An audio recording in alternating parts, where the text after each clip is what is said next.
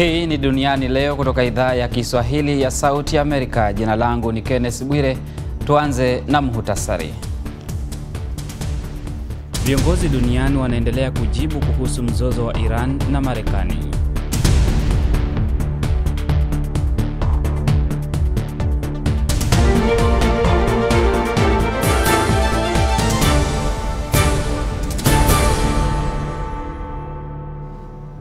Viongozi na raia kutoka sehemu mbalimbali za dunia wanaendelea kutoa maoni yao kuhusu mgogoro mpya kati ya Marekani na Iran.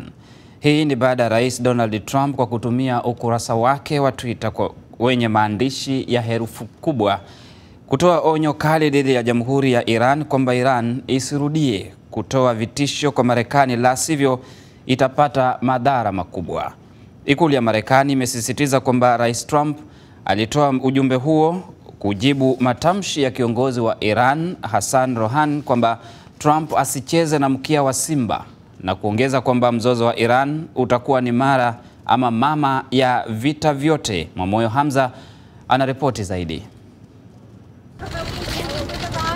Ikiwa ni wiki moja tu tangu bunge la Marekani Congress kuonyesha kutoridhishwa kwake na mkutano wa Rais Trump na Rais Putin wa Russia, Jumapili Rais Trump alizusha hoja nyingine kwa kuionya Iran kuwa isiitishe Marekani tena baada ya rais wa Iran Hassan Rouhani kumwonya Rais Trump kuhusu sera za Marekani dhidi ya nchi yake.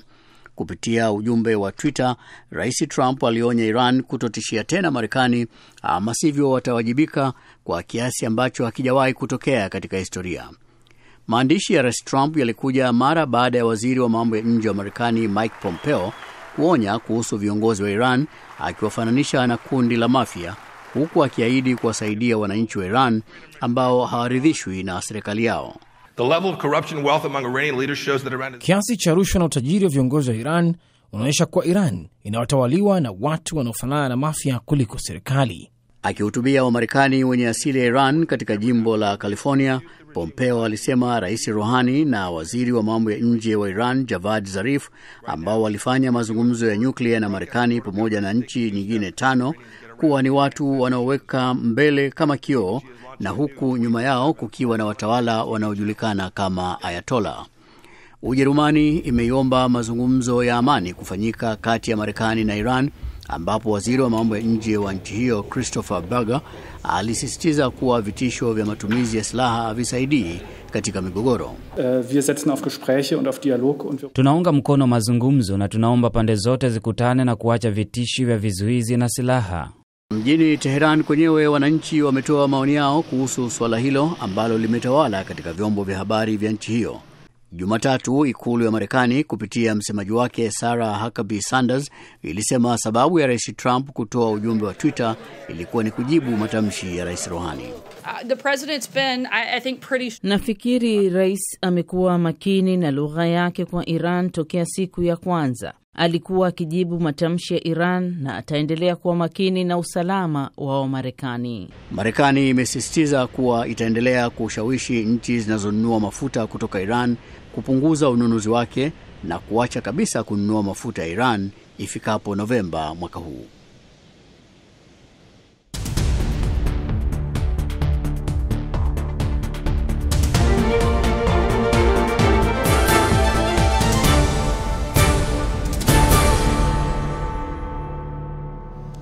Tuungane na Mary Mugawe kwa mkusanyiko wa habari nyingine za dunia kwa ufupi.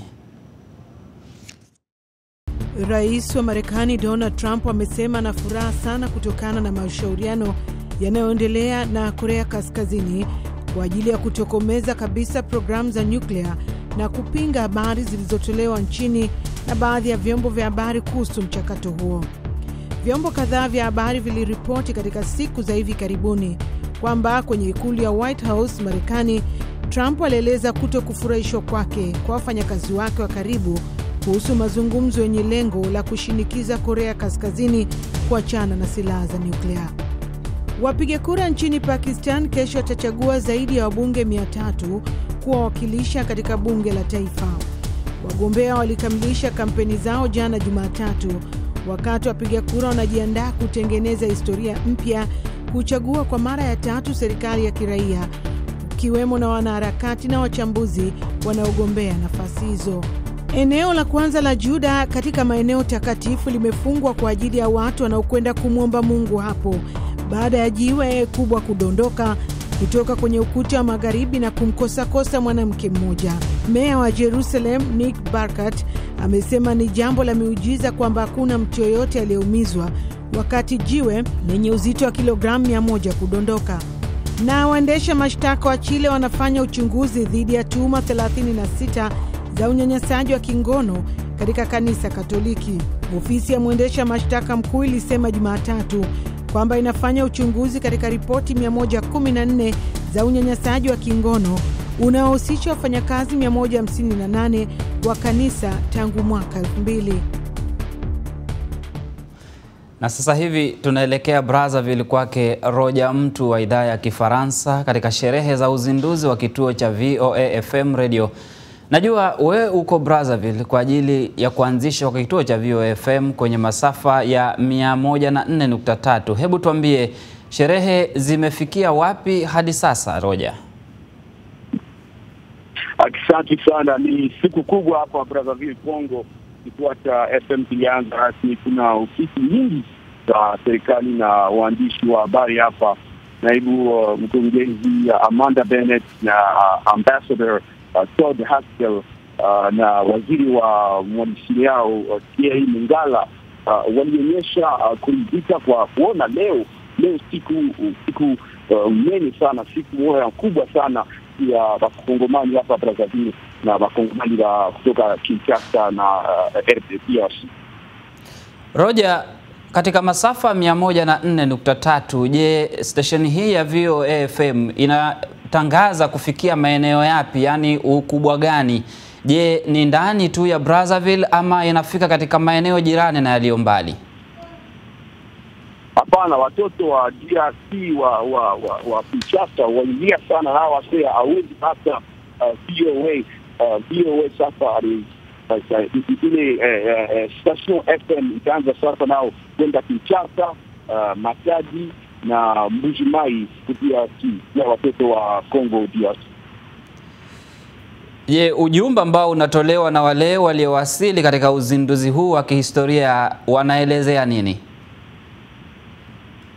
Wanafurahi sana kabisa, wanafurahi sana, wanasema kama hii siku siku kubwa sana pia, asema nafasi nyingi huku Brazzaville Congo hakuna free press. Wanafurahi sana, say this is the free press yabo hapa Brazzaville na Kinshasa. Sababu ya wao kufurahi, je, wanaelezea ni matangazo aina gani ambao wamekuwa wakikosa wanaona kwamba VOA itawasilishia? Wanaona kama VOA itawapatia yote yenye hawakuweza kupata mbele, hasa bana bana compare VOA na na uh, other uh, FM uh, uh, uh, international station, anasema kama VOA ndio hapa dunia hawakuweza pata kama international uh, FM international nyingine. Na viongozi wa Brazzaville wanasemaje? Viongozi Brazzaville wiko wa mingi hapa hapa, wiko wa mingi hapa, nao bana banafanya uh, interview kwa manda na kwa ambassador na ba minister both wenye mko hapa. Wote, uh, wanafurahi sana. Juu wanasema kama kama hii iko siku kubwa sana juu yao bote na na uh, um, uh, government yote iko hapa na na baatashe ya communication ya ya ya uh, president wa wa wa wa Congo Brazzaville wote niko hapa, wanafurahi sana kabisa. Nashukuru sana Roja Mtu. Masafa ya 104.3 VOA FM tunaendelea kupanuka na kuvuma kukuletea habari za kuaminika na haki. Rais Donald Trump anayeonekana kukasirishwa na matukio ya hivi karibuni anapanga kuwapokonya vibali vya usalama maafisa sita wa ngazi ya juu wa upelelezi na maafisa wa kutekeleza sheria kutokana na hatua yao ya kumkosoa. Kati ya maafisa hao ni aliyekuwa mkuu wa shirika la ujasusi John Brennan ambaye ujumbe wake wa Twitter unaripotiwa kumkasirisha Rais Trump alipoandika kwamba matamshi ya Rais Trump wakati wa mkutano na Rais wa Russia Vladimir Putin ni zaidi ya kiwango cha juu cha uhalifu pamoja na kususha hadhi yake na kwamba yalikuwa sawa na mapinduzi ya serikali. Ikulu ya Marekani, White House, imesema kwamba Rais Trump anatafuta namna ya kuwapokonya vibali vya usalama wa kitaifa kwa sababu maafisa hao waliingiza siasa na masuala ya fedha katika huduma yao kwa umma. Adam Steve, mjumbe wa kamati ya bunge kuhusu upelelezi, ambaye pia ni mbunge wa Democrat, amekosoa hatua ya Rais Trump akisema kwamba itakuwa makosa makubwa kuwapokonya vibali maafisa ambao wamefanya kazi ya kulinda nchi kwa miongo kadhaa kwa sababu rais, rais hapendi wanachosema au kile ambacho wangependa kusema. Adam anataka wabunge kutoka vyama vya Democrat na Republican kutetea demokrasia.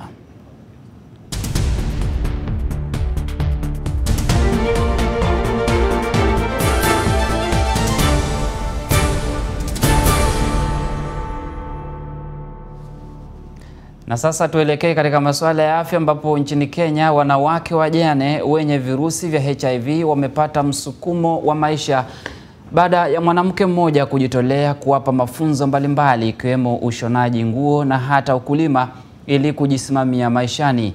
Japo ni safari inayotaka kujipa moyo, mwanamke huyo ameweza kuwasaidia maelfu ya wanawake kwa muda wa miaka kumi ili waweze kukabiliana na unyanyapaa katika jamii. Mwandishi wetu Huba Abdi ameandaa taarifa ifuatayo. Watu wanaoishi na virusi vya HIV kote duniani mara nyingi hukata tamaa ya maisha kutokana na unyanyapaa katika jamii. Hata hivyo, nchini Kenya, Mary Wandera alichukua jukumu lisilowezwa na wengi na kufungua maisha mapya kwa wanawake wajane wanaoishi na virusi vya HIV katika kituo cha Living Positive. Maana sana ya kwanza Living Positive ni kwa sababu mimi nilikuwa nafanya kazi na watoto. Mimi ni social worker na nikuwa assigned as a children's officer in the slum, alafu nikaendelea na nikagundua ya kwamba uh, shida mingi zinazofanya watoto wa either mitaani ama wa commit crimes ni kwa sababu wengi, si wote, walikuwa wanajaribu kuwa kutake over, kwa sababu wazazi walikuwa wagonjwa, hakuna chakula nyumbani, wanahitaji, wako na mahitaji, so watoto walikuwa wanajaribu tu kufili hiyo gap. Kila mwaka Mary wachukua wanawake kumi kutoka mitaa duni na kuwapa nasaha ya kujikubali kwanza, kisha kuwapa lishe bora na makazi ya kuishi, na baada ya hapo wanawake hawa hufunzwa mbinu tofauti ya kufanya kazi kama ushonaji wa nguo ili kujikimu kimaisha, na baada ya mafunzo wao hupewa vifaa maalum vya kuanza rasmi biashara. So nikafikiria nianze hii shirika inashughulikia wamama wenye wako na virusi, wenye hawana skills na kuwasaidia waende hospitali wasikie vizuri, wapate skills, waanze mabiashara zao. Kwa wanawake hawa, Mary amekuwa kama malaika kwao na wanamtambua tu kama mama kwa kuwashika mikono kutokana na hali ngumu ya maisha, unyanyapaa na upweke. Na licha ya hali yao, yeye huhakikisha maisha yao yako sawa kama wanawake wengine. Natuangalianga vizuri kama wamama, bado naona tunaendelea kujifundisha mingi hapa, tunajifundisha hii kushona pia anang'ang'ana kutusaidia hata chakula na nyumba mahitaji mengi. Mbali na wanawake hawa kupewa mafunzo, wanawake wako na makao ambao wanaishi pamoja na wanao kwa furaha na kusahau shida zao. Frida ni mmoja wa wanawake wanaoishi katika kijiji hichi. Alitengwa na familia yake, na kabla ya kuchukuliwa na Mary, afya yake ilikuwa imedhoofika sana. Hata kama baba yangu mama yangu alinikataa nyumbani, niko na mzazi mwenye ananishughulikia, na nilisimama kabisa, na mimi nikajipea nguvu, nikajua mama anaweza kujipea nguvu hivyo kwa sababu yangu na watoto wangu, na mimi najipea nguvu. Inahitaji moyo wa huruma, moyo wa upendo, moyo wa uvumilivu, ili mtu aweze kujitokeza na kuwasaidia watu wanaoishi na virusi vya HIV.